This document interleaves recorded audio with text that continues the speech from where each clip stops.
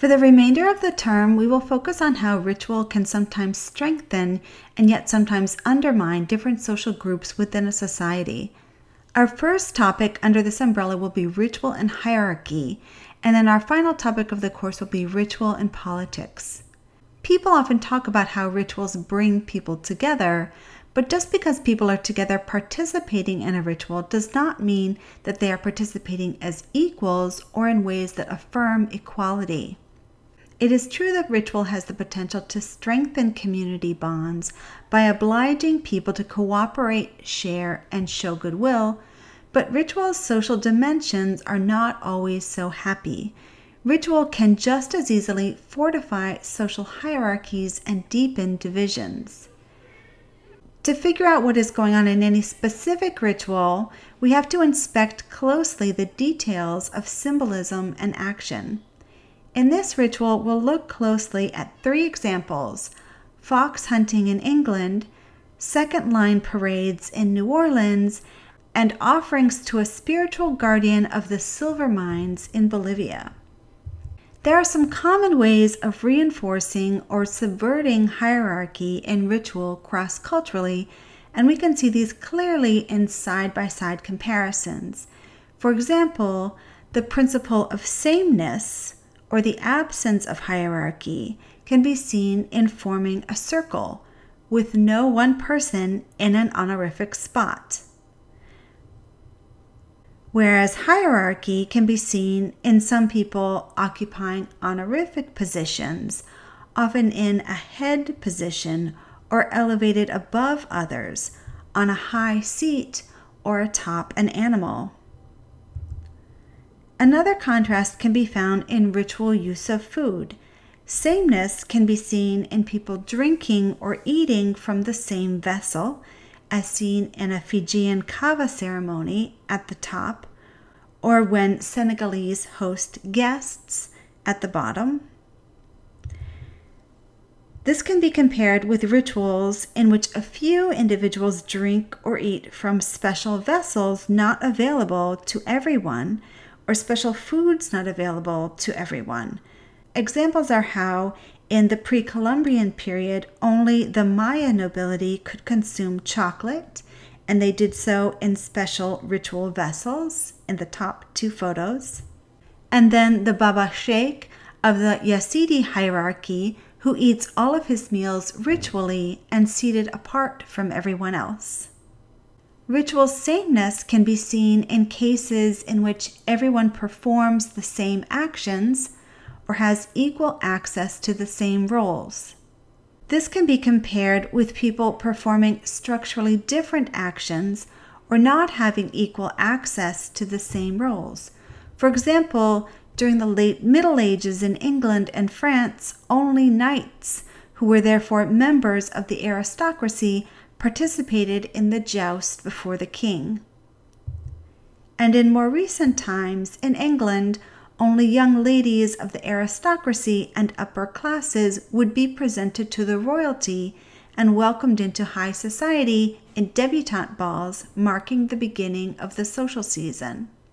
Another example is how Catholic festivals for the saints have been organized in many indigenous communities in Middle America, the festivals are organized and in part financed by wealthier men who, as a consequence of this religious service, rise in the religious and political hierarchies in the community. The principle of sameness can be seen in the ritual exchange of gifts of equal value, such as was the case in the Kula ring described by Bronislaw Malinowski in which participants from different islands in the Trobriand Islands exchanged red shell necklaces for white shell armbands. This compares with ritually bestowing very valuable gifts that the recipients cannot return, such as was seen in the potlatch ceremonies of the northwest coast of North America in the previous century this type of competitive feasting creates obligation and deference. Ritual sameness can be seen in imagery of circles, such as dancing around the maypole, This stands in contrast to imagery of pyramids or ladders, as exemplified by Masonic rituals. The principle of sameness is seen when everyone wears similar clothing, as in this candomblé ceremony in Brazil. In contrast, hierarchy is reinforced by costumes and regalia that symbolize differential status such as in this ceremony featuring the king of the Kuba kingdom. To explore how ritual can either bolster or weaken hierarchies in society, we'll consider three examples in depth. First, please read James Howe's article on fox hunting as ritual. Howe analyzes fox hunting in England but it is worth noting that fox hunting is still practiced in parts of New England and the mid Atlantic states here in the U.S., although not in the same way. Toward the beginning of the article, Howe spends a good deal of time critiquing an article written by Edmund Leach. Try not to get bogged down in the details of that argument. For our purposes, the most important parts of Howe's article are page 278 and then page 281 onward. Howe describes fox hunting in England on page 278 as a, quote, ritual of social class, one dramatizing themes and images about the gentry and aristocracy, end quote. As you are reading, pay close attention to the details that he offers in support of that conclusion. He looks at various elements such as fox hunting vocabulary, equipment, the horses and hounds, the time involved, the different roles in the hunt, access to land, and animal symbolism. Then you will read second lines, minstrelsy, and the contested landscapes of New Orleans Afro Creole festivals by Helen A. Regis. She describes what are known as second line parades in New Orleans, which are street festivals led by brass bands that move their way through back of town neighborhoods on a weekly basis. She focuses on what she calls community based second lines, which have a long tradition in working class New Orleanian neighborhoods, and she contrasts these with the staged or commodified second line parades that have in recent years been created for tourists. She argues that community based second line parades create an alternative social order by the way they move through urban neighborhoods. She notes important details such as where they move, how they are formed, who joins in, and what happens in them. She asserts that there are two landscapes in New Orleans neighborhoods. One, the quotidian or everyday landscape, how certain areas are experienced on a day to day basis, and two, the ritual landscape, which is how the same space comes to feel experientially as a consequence of ritual activity. She's suggesting that the second line parades create that ritual landscape which challenges the everyday experience of social hierarchies in the city and introduces an alternative social order. What I'd like you to think about is whether or not the second line parades do, in fact, seem to create an alternative social order that challenges the hierarchies of everyday life in New Orleans. In other words, do the second line parades bolster or weaken existing social hierarchies in the city? Do they introduce alternative, more equal forms of social relationships and social life in the city that have a long lasting impact? A final example we will consider are the ritual offerings to the Tio, shown in the film The Devil's Miner, directed by Kief Davidson and Richard Ladkani. The Tio is a devil like spirit. We might call him a god of the underworld who is said to guard the mineral resources of Cerro Rico. Cerro Rico means rich mountain and it looms over the city of Potosi in Bolivia. Rich veins of silver were discovered in Cerro Rico in 1545 by a Quechua miner sent on behalf of Spanish conquistadors. This mountain is so productive that it has been mined continuously for five centuries.